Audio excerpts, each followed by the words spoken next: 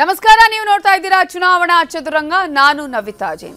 ಲೋಕಸಭಾ ಚುನಾವಣೆಯ ಹೊಸ್ತಿಲಲ್ಲಿ ಇರುವಂತಹ ಸಂದರ್ಭದಲ್ಲಿ ಎಲ್ಲಾ ಪಕ್ಷಗಳು ತಮ್ಮದೇ ಆದಂತಹ ರೀತಿಯಲ್ಲಿ ತಯಾರಿಯನ್ನ ಮಾಡಿಕೊಳ್ತಾ ಇದೆ, ಸ್ಟ್ರಾಟಜಿಯನ್ನ ನಡೆಸ್ತಾ ಇದೆ. ಇಂತಹ ಸಂದರ್ಭದಲ್ಲಿ ಆರೋಪ, ಪ್ರತ್ಯಾರೋಪಗಳು ಅದಕ್ಕೆ ಕೊಡುವಂತಹ ಸ್ಪಷ್ಟನೆಗಳು ಕೂಡ ಅಷ್ಟೇ ಮುಖ್ಯ ಆಗತ್ತೆ.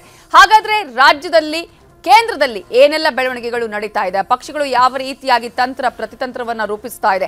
ಗೆಲುವೊಂದೇ ಮಾನದಂಡ ಆಗಿರುವಂತಹ ಸಂದರ್ಭದಲ್ಲಿ ತಮ್ಮ ತಂತ್ರಗಳ ಮೂಲಕ ಜನರ ಮನಸ್ಸನ್ನ ಗೆಲ್ಲುವಂತಹ ಪ್ರಯತ್ನಗಳು ಹೇಗೆ ನಡೀತಾ ಇದೆ? ಇವೆಲ್ಲದರ ಆಳಾಗ್ಲದ ವಿಶ್ಲೇಷಣೆಯೇ ಚುನಾವಣಾ ಚದುರಂಗ. ಮೊದಲಿಗೆ ಚುನಾವಣಾ ಚದುರಂಗ ಹೆಡ್ಲೈನ್ಸ್.